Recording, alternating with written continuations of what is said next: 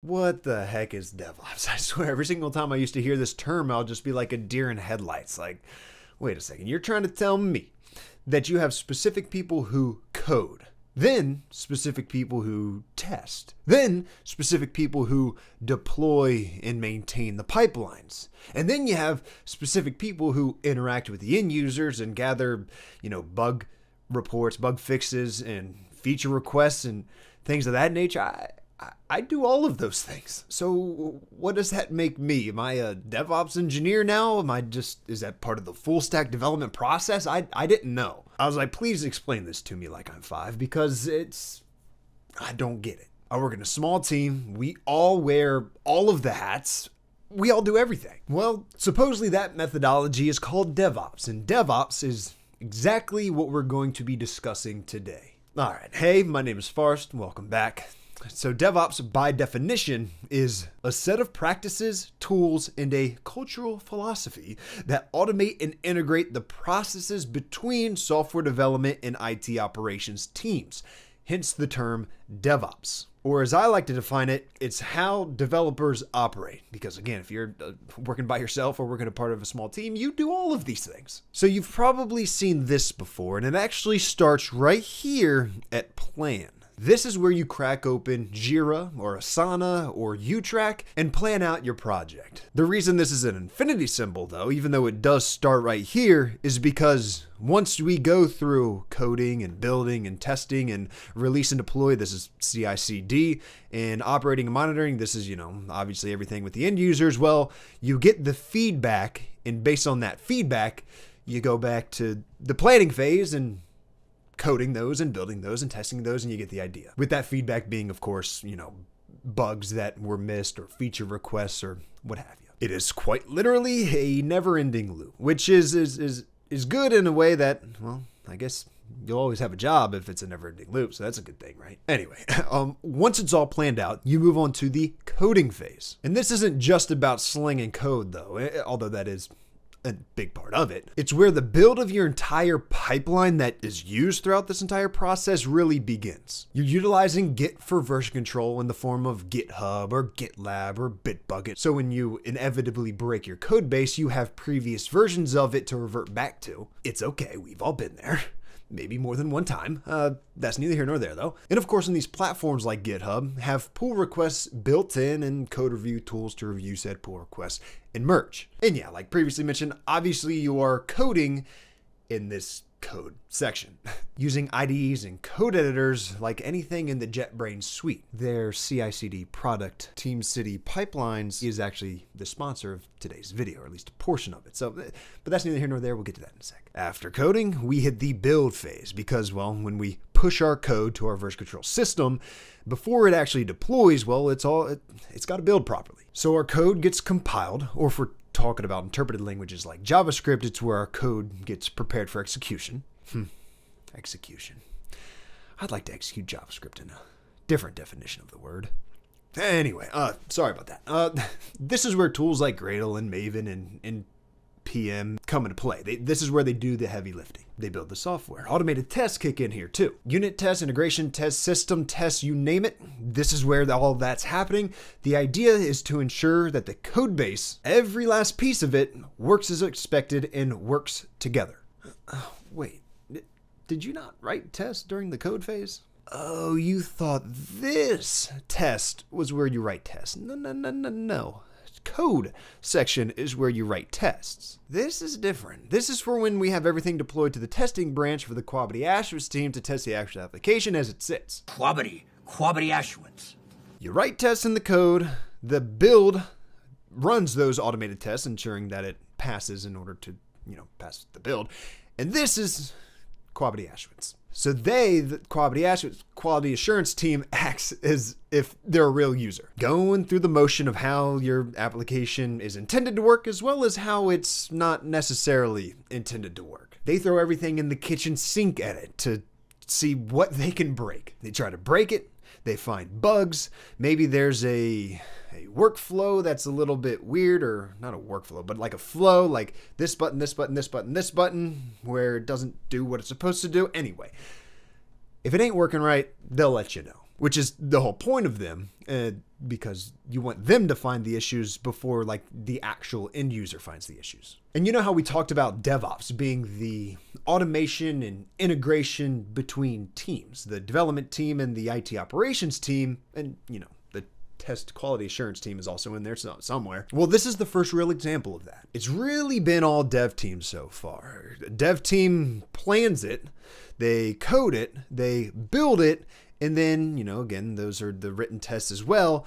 But then, I mean, you do test it in a way. Like you can have like three different servers that this app is running on. You can have development server, the testing server, and then the production server. So maybe you're testing it a bit on development server, but you know, in theory, once once everything is successfully built in your automated test run, you have to come back here and plan whatever feedback you get from over here. So you test it a bit, make sure nothing crazy's going wrong, but then once it's over on the testing server, so like the testing branch would then deploy to the testing server using CI/CD, that is where quality control, the quality assurance team, would then test it and give you all that feedback. So basically, right now as a dev team, you're passing the baton over to the um, quality Ashwitz team, and then again, you're looking back and seeing the baton coming from the IT operations team for feedback from your users, from um, you know performance metrics and things of that nature from your uh, code review tool or whatever term SonarQube and those types of things that report code smells and things of that nature. All of that like like you're back to planning you do it all over again and now after testing we go to release but it's actually difficult to talk about really anything from build test release to deploy without talking about continuous integration and continuous deployment that's where the sponsor TeamCity Pipelines comes into play because they have a new approach to CI CD that when they say offers blazing fast pipelines to optimize your development flow, they ain't lying. Plus, it is very, very pretty. But we'll build an actual pipeline here in a second. Let me show you kind of how it all works within our DevOps. CI CD. So the pipeline will be utilized for the development team, for the QA team, for the release, and for deployment, which this is production. And you can kind of see it over here. Just pretend that there's a testing branch right here. This would be your Git flow. Your feature branch to your development branch to your testing branch to your release branch to your master branch, which is your production branch, and that's deploy right here. So the way it works is that when you code and you're working on a feature based on a task that you had already planned out, well, you create a feature branch off of the development branch right here. And in that feature branch, you build out that feature. And then once it's all good, you will submit a pull request for a code review to be merged back into the development branch, just like all of your other team members. So all of this needs to ensure that it integrates together properly and builds properly. And that is what continuous integration does. And that is building the code. And you also, on the development branch, have it deployed to a development server so you, as the software engineer, can see how everything works together in the actual application running on a server and not just locally or in your container. And then once all said and done and it's ready for test, you will then merge that code from the development branch to this, you know, again, imaginary QA or testing branch, which will then utilize CI CD again to build run all the tests, make sure it's all successful, and then deploy it so that the quality assurance team can actually run it on the QA server. And then the same thing, once it's all said and done, will happen once it's merged over to the release branch where beta testers or what have you will test it out. And then the same thing will happen once it gets merged over to the master branch or the production branch. And that's this deploy right here. So every single step of the way right here from test to release to deploy is effectively the same, just refining the process throughout. So let's take a look at how it actually works in the real world utilizing the CI CD tool, TeamCity Pipelines. After signing up to the free beta using the link in the description, I can connect my GitHub account to TeamCity, which will populate all of my repositories here. And actually, let's make this dark mode real quick so we don't blind ourselves. And I need a pipeline for this HTML and Java project right here. So I'm going to create it. And if you're a YAML pro or utilizing docs that use YAML, you can do all of that here. So that's convenient and useful, but I'm going to use the visual editor because it's uh, pretty and easy to use. First, I am going to build a backend. So I'm going to name this build backend Very clever. And this is a Maven project. So what we're going to do is utilize what TeamCity Pipelines has integrated, and that is, like I said before, they're self-tuning, if you will. They have very intelligent features throughout this entire platform. And as you can see right here, we can convert to a Maven build step, and that's exactly what I want to do. We can run it in Docker, utilize autocomplete, or you can paste in your own Docker file here. Back to parallel tests, we can actually easily run these in three batches, four batches, five batches to make everything faster without changing any code. And whatever you want to run it on, Windows, Mac OS, Linux, you can do that here. But that's all preference case dependent. Let's build the actual pipeline. We'll add three new jobs, quality gate backend, deploy, and build frontend, setting the dependencies for each to ensure it's a linear path, and that it can only deploy once everything is successfully built. And we can see it running here alongside any prevalent information, how it's passing, what's running at the time, the build log, or we can just say, hey, I know this is going to pass, so let me just come over here and play some 2048. All right.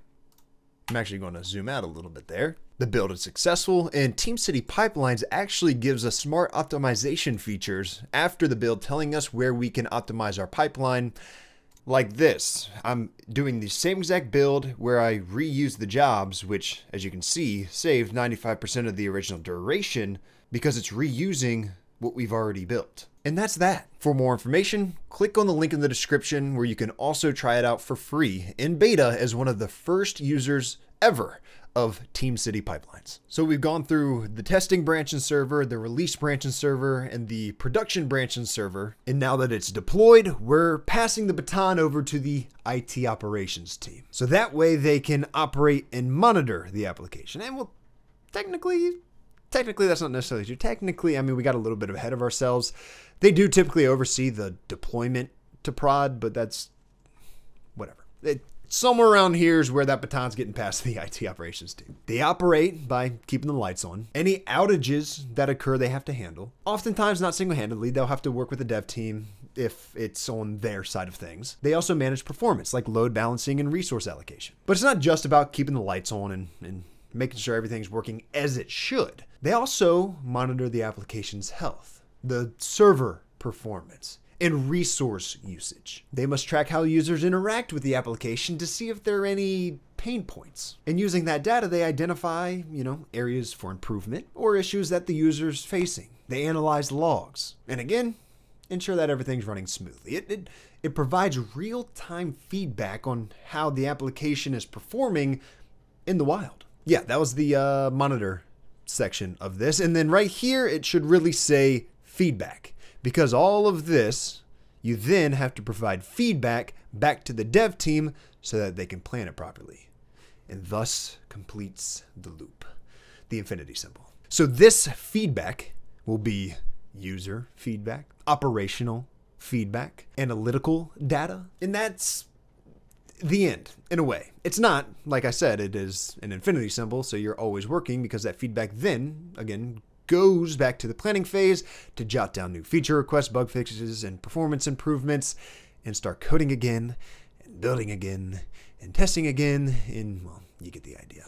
This infinity loop of plan, code, build, test, release, deploy, operate, monitor, and feedback is DevOps. It keeps the development and operational processes in constant motion, adapting and improving with each cycle. That's it. DevOps in a nutshell. Again, I'm Forrest. I hope you enjoyed this video enough to subscribe to the channel, or maybe just enough to like the video. Share it with a friend if you think they need to learn a little bit more about DevOps. Don't worry, we're, we're not, if you were sent this video, we're not insulting you, we're helping you. if you did any of that, I'd greatly appreciate it. I do really, genuinely hope that this video helped. That's why I make this content. If not, well, sorry you wasted your time. Until next time, you have a good one.